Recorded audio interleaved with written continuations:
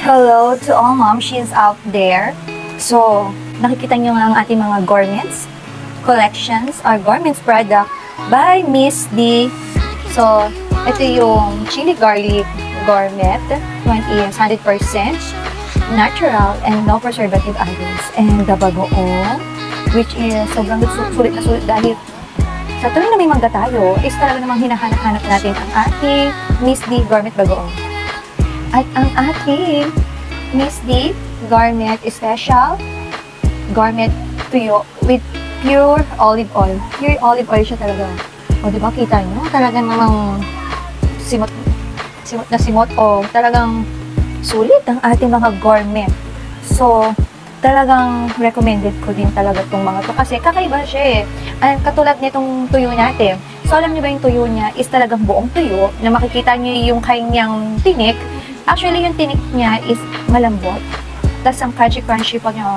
Promise. Kasi hinalo ko siya doon sa pandesal na itlog. Tapos ito, mm, sarap siya.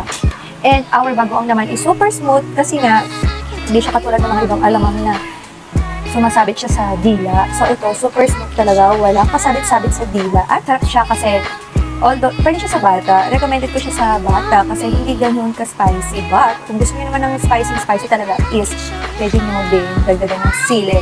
But, super sarap din talaga ng ating garlic bagoong. And our chili garlic. So, ito naman difference sa ibang chili garlic na natikman ko is may flakes siya. Promise. So, yung flakes na sinasabi ko dito. Ayan. Ayan yung flakes. So, may mga buo-buo siya. May buo-buo siya. Alam niyo, nakikita natin usually sa lugaw. Itong mga garlic. Ito, oh. Oh, ayan, oh. Kaya naman, kung ako sa inyo, i-check out nyo na ang mga to dahil talagang napabili ang mga aking pamangkin at ang aking kapatid sa dalawang ito.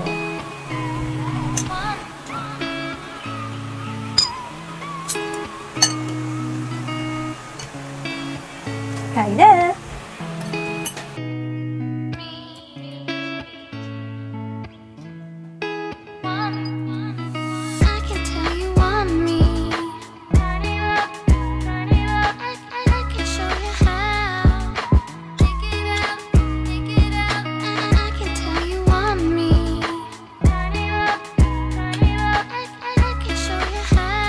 Available now!